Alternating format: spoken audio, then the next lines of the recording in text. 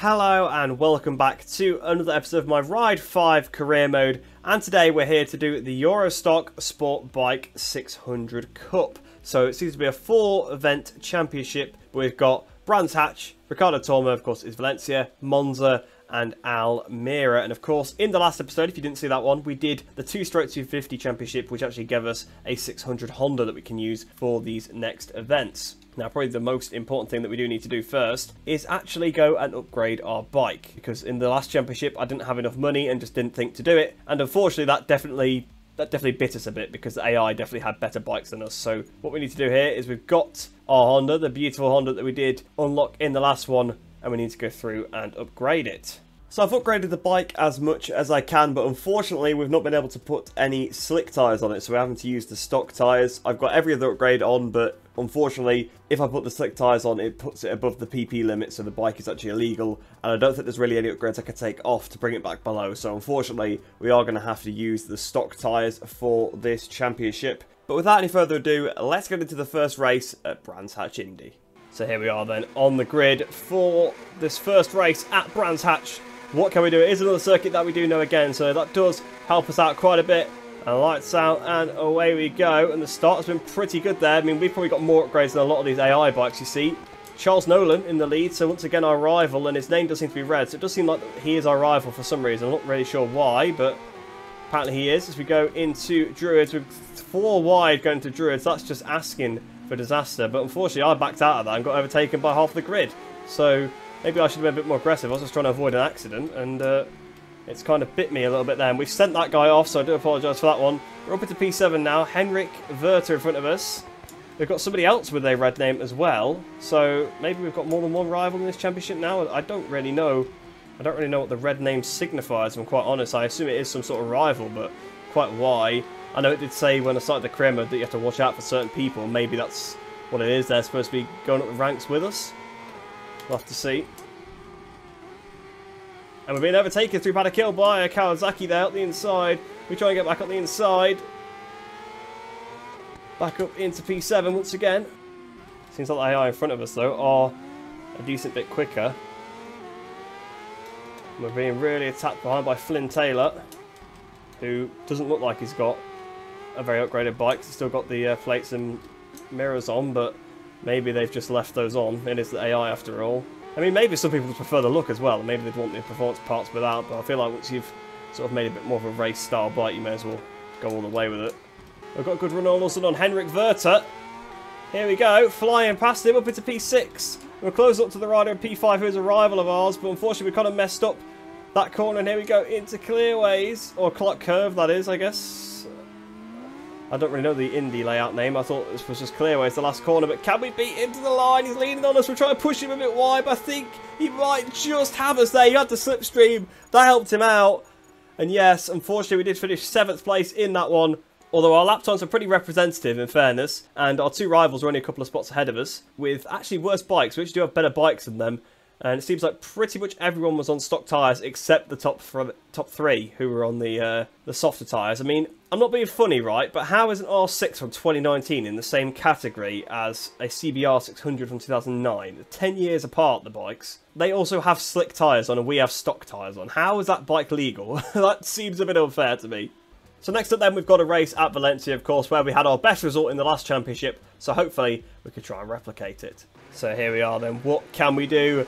From this mid-grid position. Hopefully, we get a good start. We're within a chance of a win here, but lights out and away we go. It's been a pretty decent launch off the line. Hopefully, we could try and get onto the podium at the very least. But if they run wide at this corner like they did in the previous championship, we might have a chance. We've been dive bombed in there. We've been pushed a bit wide.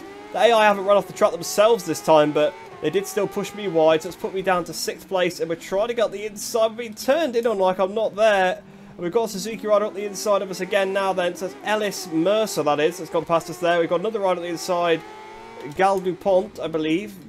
It's very, uh, it's always interesting to see the names that are in here. I believe they are like real people that might work at Milestone or something. Uh, some of them are at least. I think some of them are probably just generated names like to sound like they're from the country. The inside of Ellis we go. We've run a bit wide though there. It's a bit of a misjudged attempt at an overtaking on the green, although we haven't actually got a warning for that one, which is strange, or a penalty anyway. You just get an instant penalty, don't you, in this? It's no long lap or anything. You just get a time penalty added on, like you did in the old school MotoGP games. And I feel like we might have lost our chance to win already. Charles Nolan seems to be pulling away in this one, so unlike in Brands Hatch, he seems to be performing pretty well here. Out of the last corner, then we can get a bit of slipstream on Ellis. It seems like the AI just have an inherent straight line speed advantage because I've got the engine upgraded to the maximum, so there's no way they should be out driving me. Maybe if they're on the uh, the race tyres, but I couldn't put the race tyres on because it made the bike illegal. And I've cut the first corner a little bit there, and we've gone on the green in the first corner, so pretty poor first corner, I must say. And we're going around the outside now into Doohan corner. We had to risk a lot on the front there, and we actually kind of did it. And we're going to drive right all the way around the outside of Ellis. Not quite on this occasion, though. We're going to have to settle just behind him. There we got the inside of him. Out of turn four, so up onto the podium now then. So next up is Artur Nunes Fontana and then Charles Nolan. But I think Charles Nolan is just a bit too far up the road for us to catch him. Obviously, this is the guy that won here last time at Valencia, so I guess he's a bit of a Valencia specialist. But up the inside we go. Oh, not quite. I, would committed to it, but to be fair, he pulled that one off, and oh, we committed to that as well. It didn't quite work, but it's cost us another spot. Just could try and get the run through the last corner take advantage of Ellis side by side with him. Although we know he's got more top end than me because it happened on the last lap as well. It looks like Artur just hasn't got the top end. Now I'm using the slipstream of Ellis. Can I try and go between the two of them as we go down towards turn one? We have got to be deep on the brakes here. Oh, I've risked a lot there. We've turned in probably a bit too early still, but we kept it on the track. We've got onto the green though again on the exit, so yeah, we've not been doing turn one too well, and we've dropped back into fourth again, so still not on the podium. And oh, Ellis has been but Arthur's got a bad exit. We've got it the inside. So we're up to P2 now then. Can we beat him to turn 4? Yes, we can. So we're up into second place. But Charles Nolan is just too far away. I must say, I'd like to have a word with whoever's drawing the grids for these because it puts Charles Nolan on pole. It puts me right in the mid-pack, which makes it very, very difficult. So up towards the line then. It's another second place here at Valencia. Although, in my opinion, we should have had some sort of penalty for going on the green through the first couple of corners. And to be fair, 1-2 here were on street tyres. Ellis Mercer was on street tyres as well. So fair enough. Fair enough. That actually kind of shows that the tyre delta's not that different. But I feel like if I had a set of slicks like some of these guys, I could probably do more with it. But you did see that Fontana, who was on the softs, was still on the straight, so potentially he had to sacrifice an engine upgrade for the uh, the straight line speed there. He got out the corners very well, but he did seem to lose out quite a bit. But to be fair, Charles Nolan had the quickest lap of the race, so even if we'd started up there with him, I guess he probably would have beaten us anyway.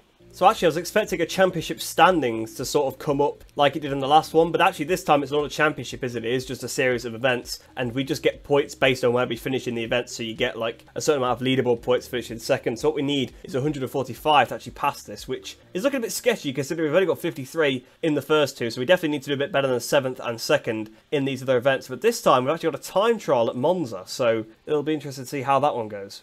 So a track like this will be where we're thankful that we got the engine upgrades rather than the slick tyres, although I suppose some of the fast corners will be uh, probably better on a set of slicks. So what we need to do then is at least a 2 minute 3.0. You can see there's a big delta between these different lap times, so I would imagine that we're looking to try and do a 1 minute 55. That's my aim. I want to try and get the goal, because I feel like without the AI in the way, I don't really have much of an excuse to not be quick enough we've got to be careful of the chicane. I've broke probably way too early for it, to be quite honest. Uh, we, what chicane are we even going on?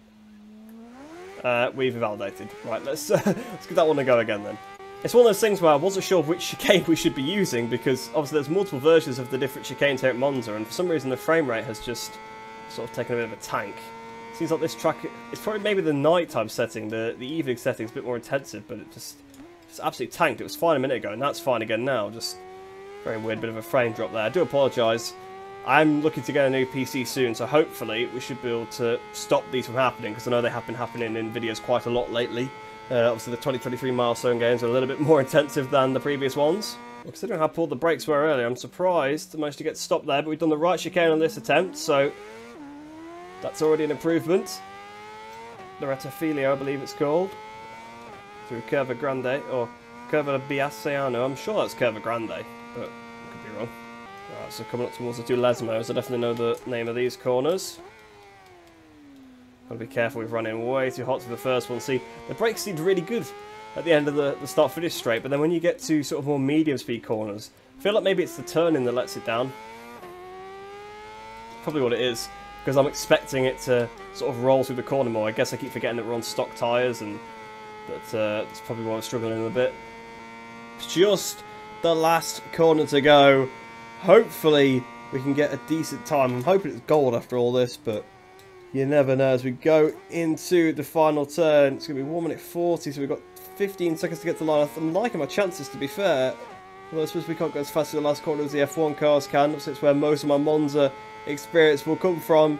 So up towards the line, that's not the right line, that would be why. And it's not going to be 1 minute 55.1. It is going to be the silver time, though. We are going to manage to beat that 1 minute 57. Yeah, so we did a 56.5, so a little bit off that top time, but to be fair, I did pretty well on that one, so I'm not too annoyed. I'll tell you what, this championship's hard, because we've not even got nearly enough points. We need 145 points to clear it, but we've only got 68, so it's going to be pretty difficult. I don't think we're going to unlock this Suzuki, unfortunately, at the end of it, even though we've actually been very strong. Two second places. The seventh is a bit of a you know, a bit of a poor result, but I would have said that'd be enough. But fair enough. I guess you've got to win. Every, I probably have to win every event you see to get enough points for that. It's probably a bit more difficult. But either way, then we've got the last race here of this championship at Almeria, a track that yes I've played before, but not for a very long time. So it'll be interesting to see how we get on because I think we might struggle a little bit. So here we are then down on the grid at Almeria. Lots of riders for a grid spot here. We've got four per row, so I think we're in what P9 for this one then. Lights out and away we go. That was the first corner. We had a pretty good run because we actually had a very good position on the grid there to be on the outside. And we've actually got into P4 immediately. We've had a bit of contact with the rider there and going to take advantage of that. So I do apologise. Didn't mean to uh, have contact with them. But Almeria certainly changed since it was last since I last played. I'm pretty sure I played it on Ride 2 was like the last time I played it. So it's been a long, long time. And this is where I find out that Almeria's not even in that game or something, but I'm pretty certain it was Almeria that we played before. I'm sure the curbs were sort of a different colour. I'm sure they were more like yellow uh, than the colour that they are now. Which is obviously something that's very easy to change. But we're in P3 currently, and it is a three-lapper. We're a bit wide here, that might allow someone through. It's going to be one of those circuits where I think it's relatively difficult to overtake. It's a bit one line. And this was 100% the track I played back on Ride 2 because I had this weird chicane in it. And we made a pass there. He's cut the corner. We've got a penalty actually for cutting the corner. I don't know when I actually cut the corner, but fair enough. We've got a two-tenths penalty. We've kind of bashed our way through up the inside of Gal Dupont, but I mean, he cut a corner really to overtake me, so I'm not feeling too bad about it. And can we get a slipstream off of Owen Brown? Down towards the tight right. I don't think so. He's got a bit more, seems to have a bit more top end than me, but on the brakes, we do close up quite a bit to him. We're looking for a way through. Yeah, it's definitely changed a lot because that was really flat, I remember, uh, on Ride 2. I don't know if this was in Ride 3 or 4, to be quite honest with you. Probably was, but I've not certainly played it since Ride 2. Never got that far into the uh, the career mode to the other ones, to be fair. Oh, I thought it was going to be more of a penalty, but actually it wasn't, to be fair. He's wide, on the inside. Taking the lead from Owen Brown here on lap 2 of 3. The problem is I've now got to find my own way around the circuit, which is alright, because I have done a lap, but... And obviously I do remember the layout vaguely in my head, but obviously that doesn't really help for braking points. Uh, particularly a vague memory of the layout that probably wasn't very accurate back then. obviously on the old engine. Seems to be getting on okay, actually. And we're pulling the gap out, so...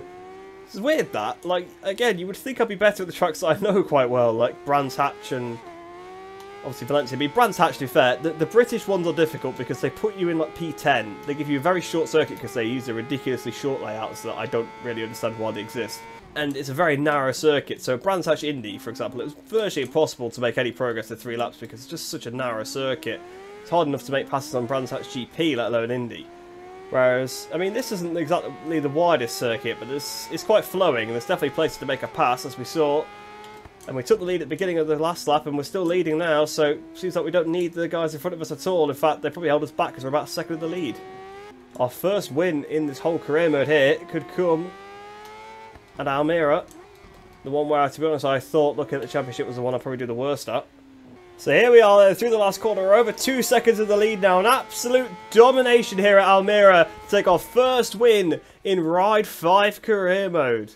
And I'll tell you why that happened. Look at all the riders around us. They're all on stock tyres. And I think some of the better AI that we've been racing against some of the other ones weren't in here. It's fair. Ellis Mercer, I'm surprised he was so far down there. He was pretty rapid in the other one, but yeah, some of the some of the rivals that we've had are not in this race. So I think that's possibly why we've ended up having that one be quite easy. But I'm pretty happy with that one. 1 minute 39.9 as well, massively quicker than the AI. And I haven't changed the settings. It just shows perhaps they're a bit slower at this circuit. So 40 points there for that one. And 9,000 credits as well. That's where the big credits are. They're from the big positions. That got us all the upgrades for the Honda, that 21,000 we had before. So we could upgrade another bike completely with the amount of credits that we've got now. There you go then, that is the Eurostock Sport Bike 600 Cup complete then. Obviously we've not managed to get enough points to get the Suzuki, but the next event is unlocked if we actually go back to the menu. You can see that there is a there is a head-to-head -head that is unlocked, so clearly we did enough to sort of progress past that, just not enough unfortunately to unlock the Suzuki. But again, something we could come back to later if necessary especially if we're struggling or maybe we need to go back and get wins at some point. I know that the previous game was a bit like that. You needed a certain amount of wins at a certain point, so you had to go back and do events you hadn't won previously and try and win them. So maybe that's something we'll have to do in the future. But hopefully you guys have enjoyed that one. But if you are new to the channel, please do like and subscribe. It really does help me out, and you get plenty more Ride 5, MotoGP 23 GP Bikes content in your subscription feed. So if you do like bike racing games, this is certainly the place to be. But like I said, I hope you did enjoy that one. I hope you enjoy the rest of your day. I hope you're staying safe, and I shall see you in the next one.